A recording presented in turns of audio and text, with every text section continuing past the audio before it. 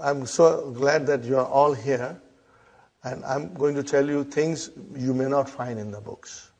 Some of the explanation, you know, when you think, when you work hard, and when you stumble, and then things become clear to you, brothers and sisters. The detailed explanation you will not find. Only a teacher can guide you. Okay, brothers and sisters. So, I have to again say something to you, brothers and sisters. Everything good that I say is from Allah subhanahu wa ta'ala.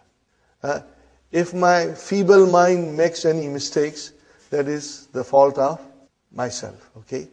And if I will make some mistakes, I may not be 100% perfect in my explanation.